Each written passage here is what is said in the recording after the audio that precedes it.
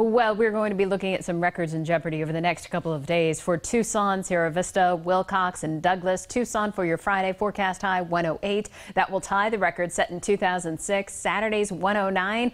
Well, there's an off chance that we will tie that record set back in 1987. So brace for some record heat. Sierra Vista, Willcox, Douglas, and Tucson over the next 48 hours. We give you a look again at Tucson tomorrow, 108, with just a 10% chance that rain will actually cool us off. Across Cochise County, your highs near the triple digits for Willcox, Douglas, and Bowie. We're talking 99 for Tombstone, 92 Bisbee.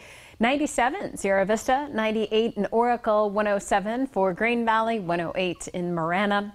111 Casa Grande, 110 for Ajo, Picacho 108, 108 in Sells, 106 for three points. That same 108 again for Tucson, Sahuarita close to it with 107 in Corona de Tucson and 105 for Oro Valley. Wow. Here's the seven day forecast. We're not seeing too big of a cool down until we make our way through Monday and Tuesday of next week. That is when our temperatures will drop off to 102 to start the work week, 101 Tuesday. But our chance for rain really doesn't rev back up until Wednesday, and that's at 30 percent.